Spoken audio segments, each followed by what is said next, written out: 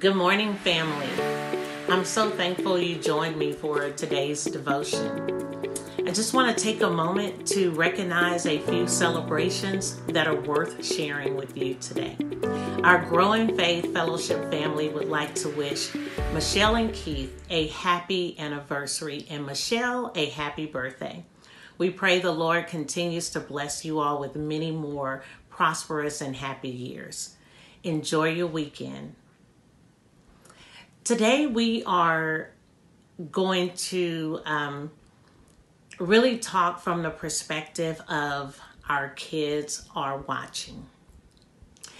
Um, this topic was inspired uh, last week during our Bible study. Uh, we had a special guest zoom in, and um, his experiences growing up in the church were um, were were amazing. Uh, but while he was sharing his experiences, it really was a strong reminder that um, our kids are watching. It was the case even uh, years ago as he was growing up, and people in the church didn't realize that, that their behavior and um, their words were actually influencing a young child that was paying attention and they didn't even realize it. And it's true today. I just wanted to take a moment to share um, an experience that I encountered um, in 2019. And it too has been a constant reminder that our kids are watching and um, they they are gaining their strength from us. So in 2019, I was diagnosed with breast cancer. And um, like anyone, I was afraid of the unknown. Um, I was uncertain of what the future would hold. And so um, I remember calling my mother for a couple of reasons. She is a fierce praying warrior. Um, and number two, she had traveled this journey 25 years prior to my diagnosis. And so, of course, after she uh, gave me a few scriptures that um, she strongly felt I needed to stand on during this this journey, before we got off of the phone, she shared something that was profound. She said, "Remember, the way you handle this situation will determine the way your children handle it. And I appreciate that because I remember that while she was experiencing her breast cancer journey, I remember her surgeon coming out to tell my dad and I that she was going to be fine regardless of how aggressive the cancer was. And he said he was certain of that because of her attitude. And I remember her being positive, never making us feel like this would defeat her. Rather, she would defeat it. And thankfully, she did. And so today, as I talk about our kids are watching, I want us to think about that perspective in this COVID 19 world. Because many of us are preparing to go back to school and we're having conversations in our homes. We're having conversations with school leadership. You may even be having conversations with church leaders about how to navigate um, such troubling and unique times. But let me encourage you, as I've had to encourage myself, as not only um, someone who works for the school district, but also a parent of two students who are headed back to a university setting. Prior to COVID, during COVID, and even after COVID, we must remember that nothing has changed. God requires of us today what He did before and what He will always require. And that is Proverbs chapter 3, found in verse 5.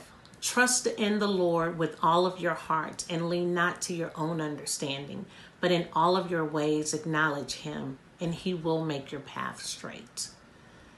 We have to find biblical principles that we can stand on so that we can also speak those words of encouragement, of victory into the lives of our kids. And most importantly, so that they could hear us speak those words of victory. Imagine being a parent, expecting your child in these moments, during these times, to have a positive attitude, yet you have an attitude that's negative and not reassuring and very discouraging. We have to model what our kids are being expected to operate as.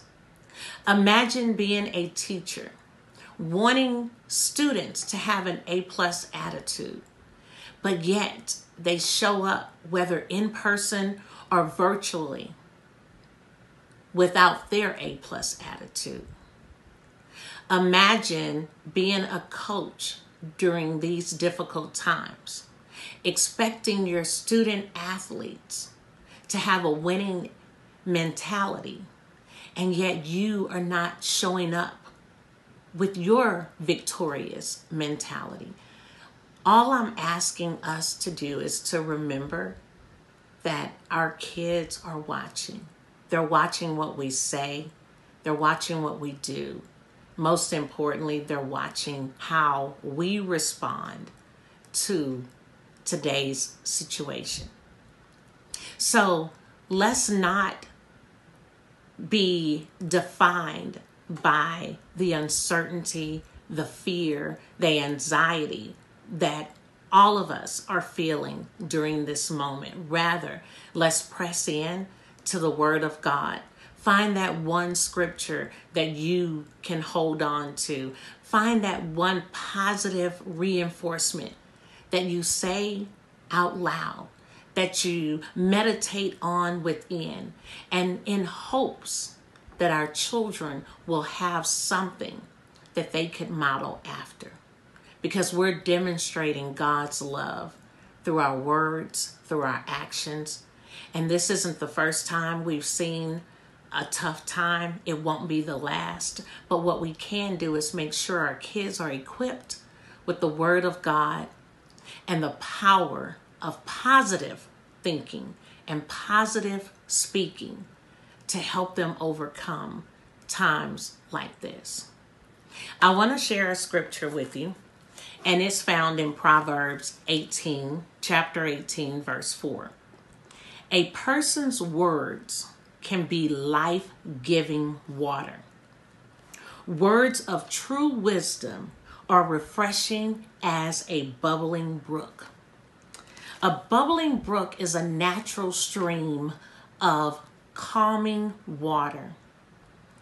And I found it to be profound that Proverbs chapter 18, verse 4 would describe a natural stream of water, a body of water that is calming, that's soothing, the same need that our children have from us.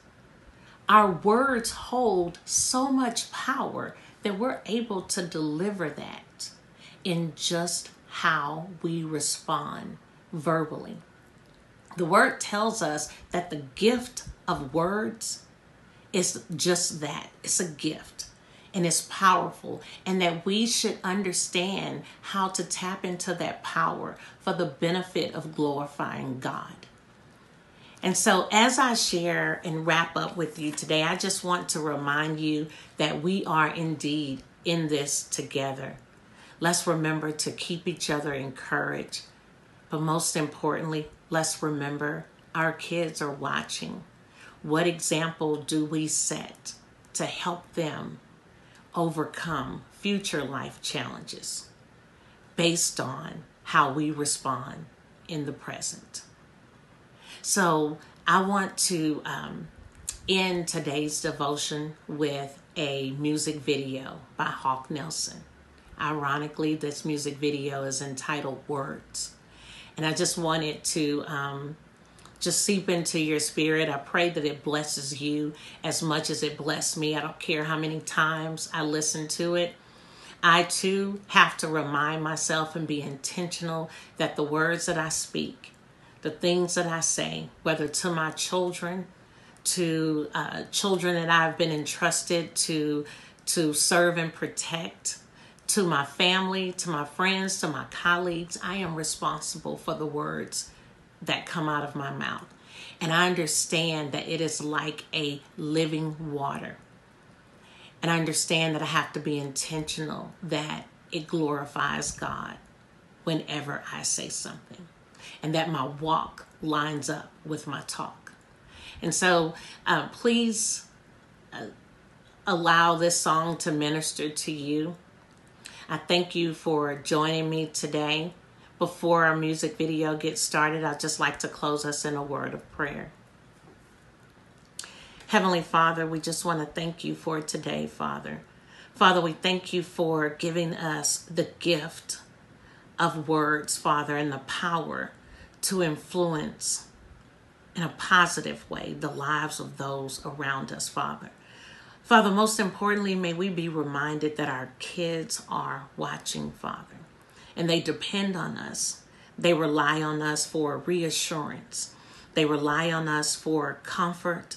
They rely on us for the calmness of their day, of their spirit. And Father, we want to be intentional about being those words and those actions of calmness and reassurance, Father.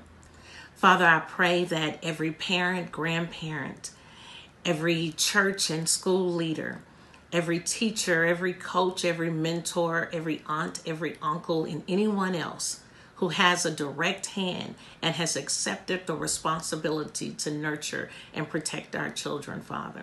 Father, we pray that we continue to seek you for wisdom, for we know that in Proverbs chapter 3, we are reminded that wisdom bestows wellness, Father. And so we just want to be in that spirit and walk in the spirit of wellness, knowing that this too shall pass. Father, we thank you for your goodness. We love you. We ask all these many blessings and more through your Son, Jesus Christ. Amen. Thank you so much for joining me today, family. Please stay tuned for Hawk Nelson Words music video. Be encouraged and be well.